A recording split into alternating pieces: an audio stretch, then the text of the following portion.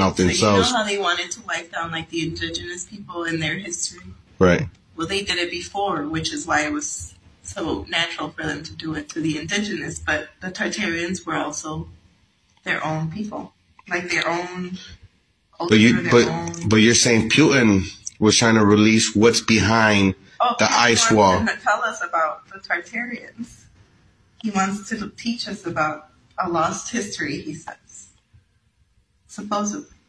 Now, I don't going know it's true or with everything that I'm saying though, they live behind the ice wall. That map, that's what's behind the other side of the ice wall, according to Putin. according to Putin.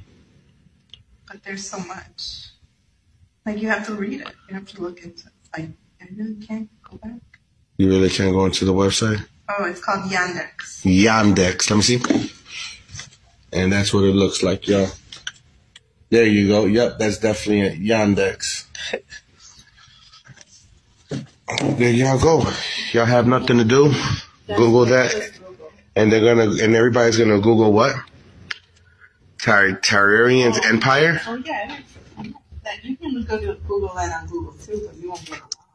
All right, so you heard You that. go to Yandex and do search of that through there, and you it pulls up.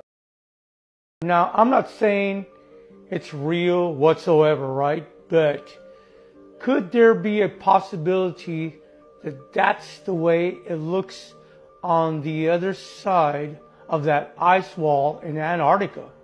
Now, to me, if there's not anything on the other side of that ice wall, why do they guard it so much? Why is it not allowed to just explore and go out there and just see for ourselves what's over there? Why is it guarded so much? Now, like I said before, I'm not saying this is real, but look at all the intricate details. Look at this city. Now, I know there's a lot of maps that do talk about cities underneath the ice caps and even on the other side of these ice caps. And there's even maps out there, which I am going to show one. So could these maps show beyond the ice wall? And also, are there passages where you could get beyond the ice barrier as well? So let me know what you think about Antarctica.